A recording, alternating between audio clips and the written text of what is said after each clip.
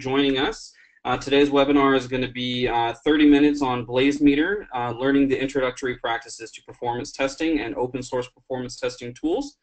Uh, my name is Michael Schaff, and I'm a performance testing consultant here at BlazeMeter. Uh, so thank you for joining us, uh, whether it's the morning, afternoon, evening, depending on where on the globe you are. Let's jump right in and get started. So in a nutshell, BlazeMeter is an agile, on-demand, SaaS-based performance testing solution. It's open source compatible. Uh, it supports primarily JMeter, but uh, we now support nine other open source tools like Locust, Gatling, Selenium, Jenkins, etc.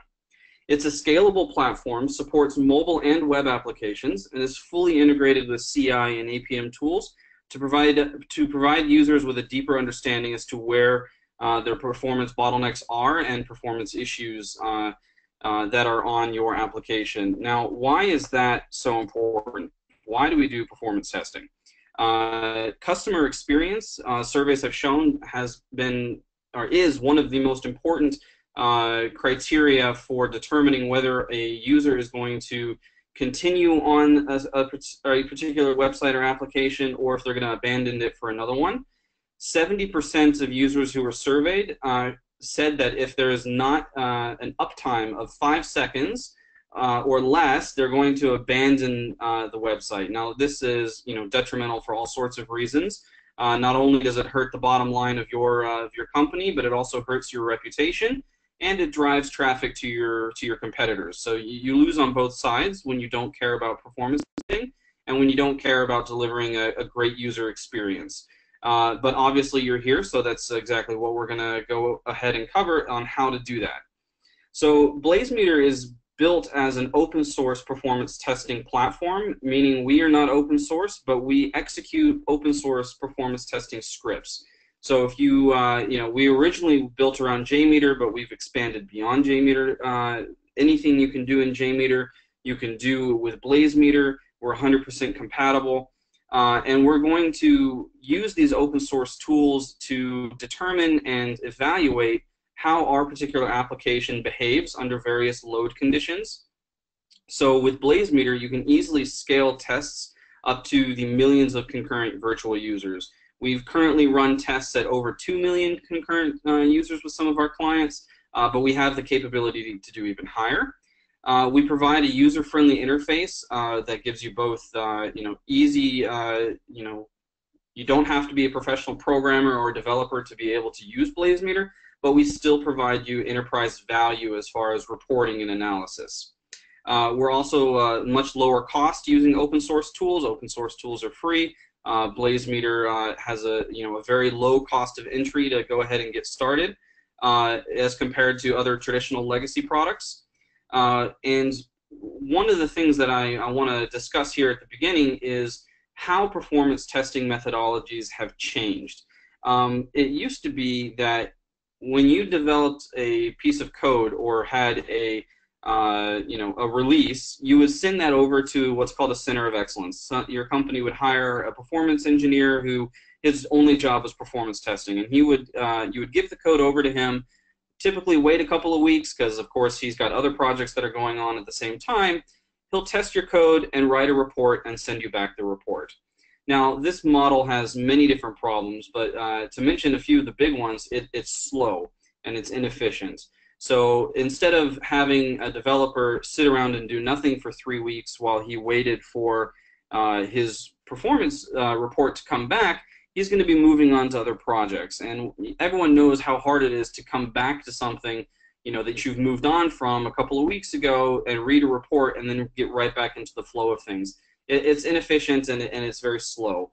Uh, what BlazeMeter allows you to do is is we call shift left. It's being able to test continuously and being able to test earlier in your development life cycle. So by democratizing performance testing, we allow the developers to do their own performance testing uh, while they're doing their developing. So this way you can identify your bottlenecks much earlier when they are uh, cheaper and easier and less time consuming to fix. Uh, and you can do all of that while eliminating the center of excellence altogether and really uh, take your agile uh, development life cycle, uh, software development life cycle all the way to, to become fully agile. So SaaS, uh, you know, BlazeMeter is a SaaS uh, platform. All you need is a browser and an internet connection, and you can begin testing right away. We do have an on-premise version for people who have, uh, you know, more stringent security uh, issues, or if there's a corporate firewall, we do have an on-premise engine that will uh, allow you to continue to use BlazeMeter. Um, we also support uh, web and mo web, mobile, and microservices, and we've just released our new API test maker. So we can do uh, load testing and functional testing for your APIs uh, while reusing your same scripts. So you don't need to develop uh, new scripts.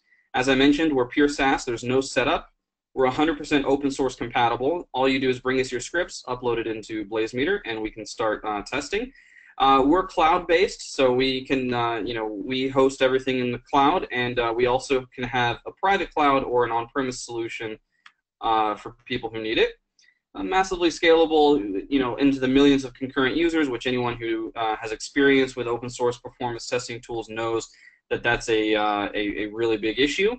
And of course, we have our own open source uh, project called Taurus, which is basically a non-GUI form of JMeter that easily integrates with uh, many other uh, tools and uh, is you know slowly becoming uh, very popular on the uh, on the um, open source community.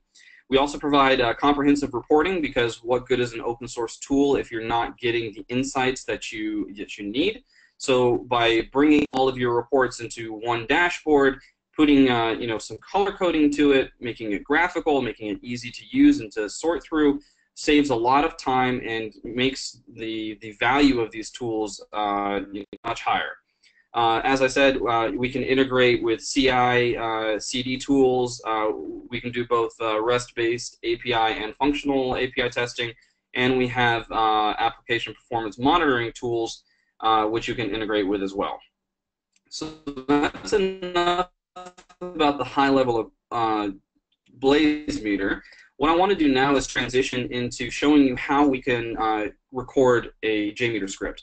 Uh, we get a, this question a lot. People want to move over to open source tools because they're they're more modern, they're more agile, they're faster, they're cheaper uh, from traditional uh, legacy tools. Uh, so making that transition, there's a little bit of a learning curve, so we've tried to make that as easy as possible. So what we've done here is created a Chrome extension, and this Chrome extension will allow us to record uh, HTTP, HTTPS traffic uh, to whatever, uh, you know, anything we can point our browser to, and turn that into a JMeter script.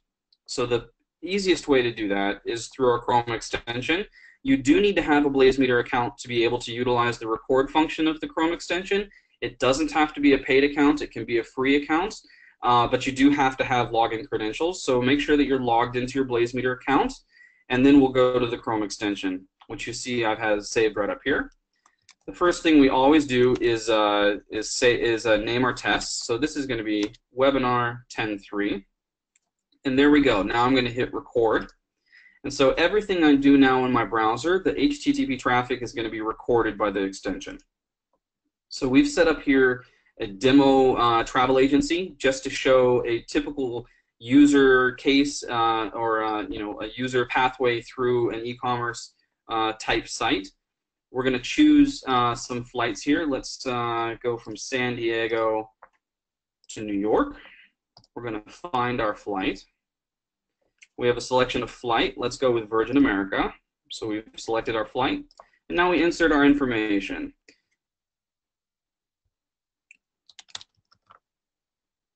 We're going to purchase our flight. And now we've come to our confirmation page. So this is a very typical scenario for anyone who's booking a flight, booking a hotel, buying shoes, uh, you know, coming on and checking out some new uh, new news or new product updates on, on your website. It's very it's a very basic scenario. So we're going to go to the Chrome extension. We can stop recording now. And now I have several options. If I hit play, it will launch the test directly from BlazeMeter, straight from the Chrome extension. Uh, I can. There's a few criteria that I can set here, but it's not really. It's uh, not really recommended because you're not really configuring your test, but it's a shortcut way of doing it. Uh, we can export directly to JMeter, uh, but first I'm going to edit the recording because this is going to record absolutely everything that we have on our browser at the moment, I just want to make sure that we're recording exactly what we want, which is what we have here. We have a reserve page, a purchase page, and a confirmation page. So this looks good. And up here, I can move this over to Taurus uh, as a JSON file or a JMX. JMX is the output file for JMeter. So we're just going to give this a quick second, and there we go. So now uh, we've got a basic JMeter uh, script. Let's go to JMeter itself. If you haven't downloaded JMeter, you can do so from the Apache JMeter website. I strongly recommend it. Uh, and we can find our script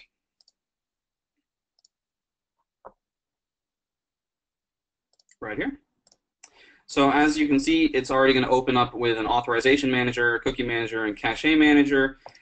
Uh, this is exactly where uh, you would add in any sort of logic, any controllers or assertions you want a JMeter to make. What this has done is basically give you a uh, framework, uh, a backbone, so to speak, of a JMeter script, which you can then fill in the meat uh, and uh, design your test the way you would like. So let's go, now we're in BlazeMeter itself. This is uh, your home page when you log in. On the left, you're going to see your recent test runs and uh, some usage report. If you click at the top at create a test, we've got several different types of tests you can run. Uh, a JMeter test is our most common load test. It's also what I'm going to show you here in just a moment with our JMX script, but you can also run a URL API test, a multi-test, which would be multiple tests uh, running uh, simultaneously, or if you wanted to have uh, multiple geolocations in the test. We, of course, have a Taurus test and a WebDriver test, which is based on uh, uh, Selenium WebDriver plugin with JMeter, and it allows you to uh, open up some JavaScript. It's, it's pretty cool for front-end testing as well. So now let's click on JMeter, the JMeter test. Right here, we're going to upload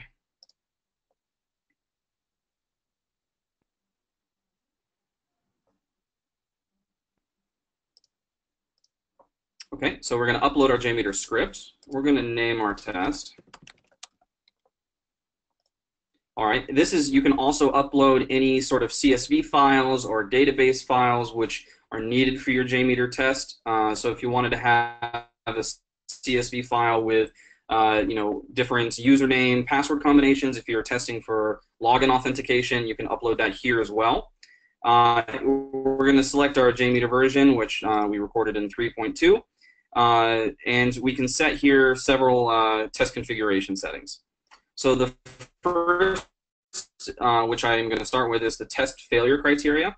Uh, here we can set any sort of criteria, like let's, for example, response time uh, in uh, minutes. Let's say if it's greater than three seconds, we're going to have a warning label that says too slow. We can add another one for errors that says if our error percent is greater than 5%, we're going to say there's too many. We also have the ability of checking this box here, and if you do so, it will actually stop your test if you ever break one of these thresholds. Uh, but we don't want to do that. We want to run the test to completion. So we're going to just apply this, and if any of those criteria are ever broken, we're going to have uh, warning uh, uh, tags uh, available for us. Uh, you can also add in sort of, uh, you know, some JMeter properties, command line arguments, uh, network simulation. We've got several different uh, preset conditions. So if you wanted to test, uh, if you knew that most of your traffic was going to be mobile traffic, you can select uh, different types of, you know, simulate the network that your users are actually going to be coming to you by. So let's just say we got a good 3G connection. If you want, you can manually put in this information as well. The presets are just to save time. Excuse me. Uh, you can also find our APM integrations here. So we've got CloudWatch, CA Technologies APM, New Relic, uh, Dynatrace, App Dynamics, all of the out-of-the-box uh, integrations uh, right there. And if we move over to the right, now we can start configuring this test scenario. So this is a, uh, a, talk for a separate uh, webinar, but if you check this uh, box here, you can run this as a functional API test instead of a JMeter load test while keeping the same script. Uh, we have sandbox mode, where if you have a paid account and don't want to run a, uh, a paid test where credits will be deducted, you can click on sandbox mode and it will limit you to 20 concurrent users, but it allows you to debug your script so that way you're not wasting credits figuring out why your script isn't working. Uh, so that's really helpful and handy. Uh, next, we need to choose where we're going to originate our load from. We have over 40 different um, Microsoft, AWS, and Google Azure uh, uh, locations that you can select from. Uh, if you need ones that's not listed here, we can support it. You just got to send us an email and let us know, and we'll be able to uh, uh, open that for you. So let's say that we're going to just test US East Virginia. We want to test, let's do 250 concurrent users, uh, which is well below our capability, but I don't want to overload our demo site in case other people are doing demos at the same time. There's a couple of ways you can configure your users. You can do just what I did right now and type in a specific number of users, and the system will automatically distribute those users, or threads as JMeter calls them, uh, over a specific number of engines. Uh, you can also do it the other way around. If you want to uh, specify a specific number of engines. An engine is uh, your load generator. Is basically how many, uh, or the the machine, the server, which is actually producing the load, producing the threads. Uh, it's a very simple formula. Threads times the number of engines that you have is the total number of users. So as you see here, uh, I've moved my engines to five, so that raised my users to 1,250. This is exactly how easy it is to scale uh, with BlazeMeter. You can simply make that go into the millions if you wanted to, but we're going to keep it at 250. Okay, you can set your ramp up, the number of iterations, and the duration of your test here. Uh, so now that you've uh, uh, configured your test, you can save it. Once you've saved it, you press play. It's that simple. We're going to actually launch this test right now. It typically takes two to four minutes to spin up. Uh, if it takes any longer than that, uh, try restarting. Uh, sometimes it will take a little bit longer if you're running a front-end test with the Selenium WebDriver plugin. That's going to uh, that's a very resource-intensive uh, test, so you can see a slight delay spinning up, but this should spin up here in just a moment.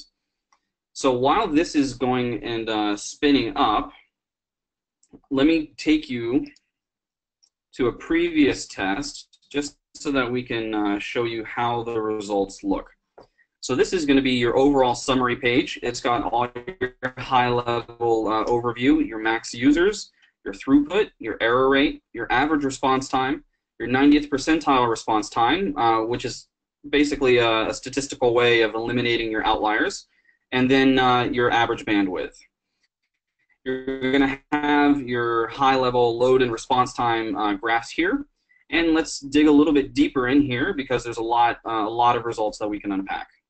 So if you go to the timeline report, it's basically a graphical representation comparing all of your KPIs versus each URL or page that you tested. So here we've got the number of virtual users in blue, hits in green, red is errors, response time is in orange. And we can check the different boxes here. And instead of comparing every page, we can now uh, compare just our confirmation page. Or we can mix this up and compare any, any KPI versus any URL that we tested. If you go and hover over the graph, it'll give you the specific number for the um, moment that you're hovering on. If you want to zoom in, just drag and click. It's very simple. You can zoom in all the way down to a one second granulation. So the, the level of detail is quite outstanding. And this is your timeline report. The time is over you know, your entire test. On the request statistics tab, you have all of your information in a tabular form. You can also download this as a CSV file if you wanted to uh, you know, look at it outside of the BlazeMeter platform. And uh, you can also specify which specific time uh, by sliding the bar here. It's very important whenever you run a test in BlazeMeter, always check your engine health. You know, as I said, the engine is the server which is generating your load, so that's where all the memory is being used. And here you can see that our memory never went above 52, 50%. that's really good. If it goes over 60%, it uh, should alarm you that, uh, or should make you aware that uh, the load generator, the engine itself, could be a bottleneck because if it uses too much CPU uh, or memory, uh, it's going to either create errors in your test or it's going to slow your traffic down and you won't be able it, it basically invalidates your results because you won't be able to tell if it was the engine that was actually causing the performance uh, degradation or if it was your application and your servers itself. So always good to check the engine health tab. Our failure criteria, which we set uh, in the beginning, as we can see with this test, we uh, had pass status. This would be a fail if uh, any of the thresholds were crossed. And we also, remember, could have set it to terminate the test if we uh, crossed one of those uh, thresholds. We have our errors report. This is going to have all of your errors uh, listed. We have no errors in this particular test, but if we did have errors, it would be uh, down here. You could uh, look at them either by any labels you've assigned to them, response code, or assertion name. You can also look at them based on the time which they occurred. Here you have your JMeter logs. You can download this. Uh, this is basically uh, your, your, your JMeter logs here. And you can oversee, uh, overview your test configuration on the last tab. Now, being able to performance test uh, you know, locally by yourself uh, is great for speed and efficiency, but it's not very good for collaboration. So what we've done is created a few features which are going to help you work as a team in a more agile sense where you can uh, easily collaborate while still maintaining control of your test. We have here a share button. When you click and turn the sharing on, it gives you a read-only link. So you can send this link to anybody you like, and they'll be able to access the results of your test without being able to alter anything. It's a read-only link. And when you're done, you can simply click off and the link becomes invalid. We also have an executive summary. This is really helpful if you need to present your results either to a client or to a manager or C-level executive who maybe isn't so uh, technical minded or either they don't understand it, uh, all the in-depth technical aspects, or they don't care about them. This allows you to give a high-level overview. You can rename everything. You can add your logo. You can put your own description here, and it's going to pull some of the top stats from your uh, uh, from your test. So you can give this, uh, you know, as you can see, you can customize it, make it look really beautiful for your company. It's got graphs in there, really easy to read, great for high-level overview. And so that is basically a very quick high-level overview of um, BlazeMeter results. We can go back, because we should have results for the test which is currently running, and as you see, these are live results uh, from the test which I launched with you just a few moments ago. You can see that we've ramped up to 193 from our max users. Our throughput's looking okay. Our errors are great. Response time is good. Bandwidth is good. And so we will see this data as it's coming in live. I want to go over just a few other things before uh, we wrap up and start our Q&A session. So if you have any questions, feel free to start typing them out. I'll get to them in just a moment. Uh, I would like to point out our blog. We work very hard and have many uh, hundreds, if not thousands, of articles, video tutorials, uh, helpful Q&A sessions which have been recorded all on our blog. Uh, it's very easy to use. You've got all your topics here on the left. You can search for a specific topic. Uh, and this is updated almost daily. Uh, in, in fact, I think it is daily. Uh, great information here. This should be your number one uh, resource for not only BlazeMeter, but performance testing with open source tools in general. You're going to find a lot of answers to most of your questions right here. For people who want to learn in a more structured manner, uh, we do have a uh, beginner's course for performance testing. the URL is onboarding.blazemeter.com. And you can see here, this takes you from being an absolute newbie, uh, someone who doesn't know anything about JMeter or anything about BlazeMeter, and gets you all the way down uh, through lectures and uh, articles, exercises, takes you all the way to advanced features uh, and advanced uh, testing scenarios. Highly recommend it. If anybody has further questions that I, I won't answer, that I'm not able to answer here, please feel free to send us an email. Uh, you can reach out to us uh, through our website with the request a demo button, or you can fill out the post-webinar survey, which has the ability for you to request a demo as well.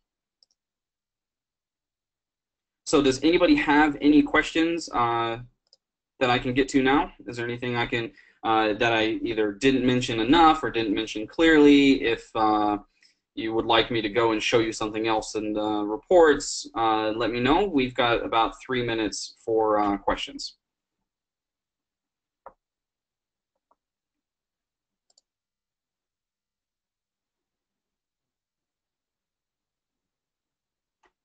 Okay, so somebody asked, how does uh, BlazeMeter uh, improve upon uh, JMeter? So there, that's a very good question. We get that question a lot.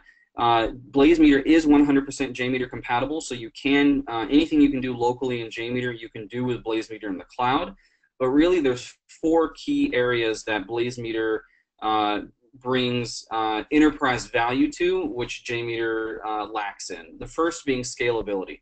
JMeter will not allow you to, uh, I mean, if you want to scale up and do even a test with 10,000 concurrent users, which is not that large of a test for most companies, uh, is very difficult because each engine will only allow you between 500 and 1,000 virtual users. So if you wanted to run that locally in uh, JMeter, you would have to string together a whole serv uh, uh, server infrastructure in order to be able to support that testing. With BlazeMeter in the cloud, you can do that really quickly and easily. The second is reporting. JMeter uh, reporting itself, you got to look through basically mountains of log data to be able to get any valuable insight out of that. And as you see here, BlazeMeter puts it in a real-time graphic format for you that's easy to interact with and collaborate with. Uh, the third thing would be uh, professional services. Uh, if you don't know how to write a JMeter script or under a tight deadline, if you need somebody to either write the script for you, monitor the test for you, run the test for you, we have a professional services team that is able to offer that type of service where uh, JMeter being open source does not. And last but certainly but not least, uh, customer service. Open source tools, the if you have a question or uh, a bug that you can't figure out, uh, your best bet, uh, your only option really is to go to an open source tools forum and try to either ask a question and the answer you get may or may not be reliable or it may not come at all. Uh, with BlazeMeter, we've got uh, you know round the clock uh, support staff both in Israel and in California uh, to help you out with that.